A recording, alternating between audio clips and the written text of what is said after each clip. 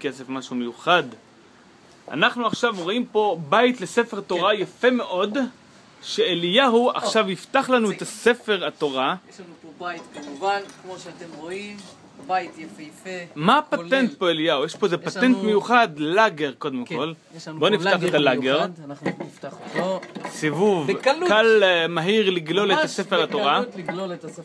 וזה הקלאץ'. אם אתם רואים את זה קלאץ' כמובן. יואו, הקלאץ'. כן, אנחנו סוגרים את הספר אליהו, סגור את הספר. יפה. יפה מאוד אליהו.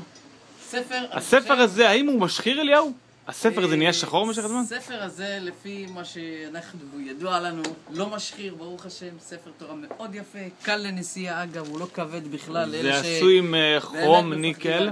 זה עשוי מכרום ניקל. סובב אותו. סובב אותו לקהל הרחב, שיראה את זה. את היופי שלו, יש פה את לוחות הברית, המנורה, כל הסממנים, השבטים, עשוי מאוד מאוד מאוד יפה. אליהו, אתה היית רוצה להכין ספר כזה הייתי יפה לבית רוצה כנסת? לראות את הרימונים שיש לנו למעלה. או, רימונים. אליהו, אה, אה, אה, עכשיו אנחנו רוצים שתרים את הספר ותגיד לנו אם הוא כבד. אנשים כמו- מאוד חשוב להם הדבר כמו הזה. שאני אמרתי, ספר קל לנסיעה, כמובן. חמש קילו בלבד. זה רק חמש קילו בלבד. כל אחד יכול להרים אותו, חתני בר מצווה אפילו כבר יכולים להרים אותו, אין שום בעיה. איזה יופי. ספר תורה מיוחד. בד, מיוחד.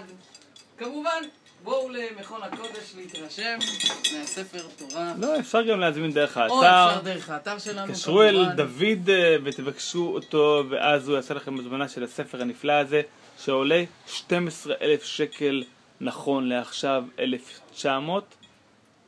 אה, כמה זה בדולרים?